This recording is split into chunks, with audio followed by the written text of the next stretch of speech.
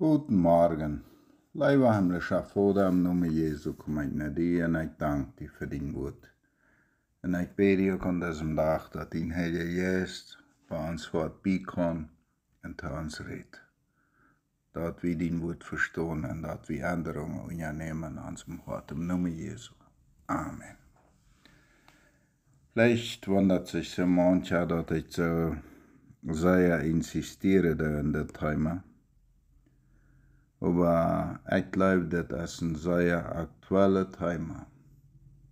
Und ich glaube, das Wort Gottes wird von deutschen Tag aufgewiesen.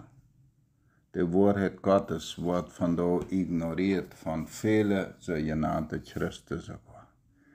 Die wollen das nicht hören, was da steht. Und ich glaube, wir müssen das Wort in unserem Hort anlassen. Das Wort in unserem Hort anlassen. Und uns konfrontieren lassen, uns prüfen. Vielleicht mag wir kein Prophet dort. Aber wenn wir Gottes Wort auflehnen, dann lehnen wir Gott auf. In jener Zeit gab, es noch einen anderen Propheten, der wie Jeremia im Auftrag des Herrn weissagte. Uriah, der Sohn Schemas aus Kirit Cherim. Auch er kündigte Jerusalem und den ganzen Land Unheil an. Also, bei Profeten zeiden, Gott wird je straffen, wanneer je niet amteren. En dat willen ze niet scheren.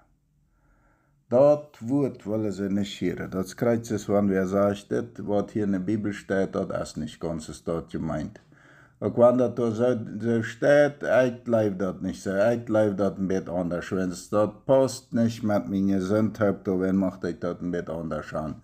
Dan denk ik me dat trash en dreef me dat trash. Dat is dat woord Gottes auflehnen. En dat passiert van de recht veel. Het sagt, als König Joachim sein Heeresführer und die führenden Männer davon hörten, wollten sie ihn töten lassen. Uriah erfuhr es und floh voller Angst nach Ägypten. Doch Joachim schickte Ilnathan, den Sohn Achiors, mit einigen Männern dorthin. Sie nahmen Uriah gefangen und brachten ihn zu Joachim zurück. Der ließ ihn mit dem Schwert hinrichten und seine Leiche auf dem armen Friedhof verscharren. Als er dort wird, nahm er nicht an. Dort wird, weiß er auf. Also så går vi fucka an. Vi går fucka så an med dat woord. Vi nemen het woord nicht an, wat Gott uns gegeven hat. Aber wir können die Bibel verschneiden. Wir können die Bibel ignorieren. Aber dem Gott, wat uns die Bibel gegeven hat, der bleibt leben. Und das, was, was hier passiert. Sie können den Prophet uitmaken. Aber nicht dem Gott, wat dem Prophet gescheit hat, hat gerecht für Antwort bloß Schama. Das sagt Jeremia aber kam mit dem Leben davon. Er wurde nicht vom Volk ausgeliefert, das ihn umgebracht hätte. Denn Abia kam der Sohn Schafans, setzte sich für ihn ein.